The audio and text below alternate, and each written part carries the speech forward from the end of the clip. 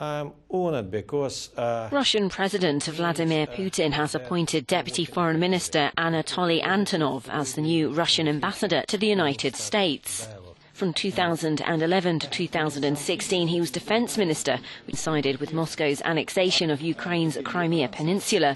He's now subject to European sanctions over his role in the conflict. Mr. Antonov replaces Sergei Kislyak, who served for more than nine years as Moscow's envoy to Washington.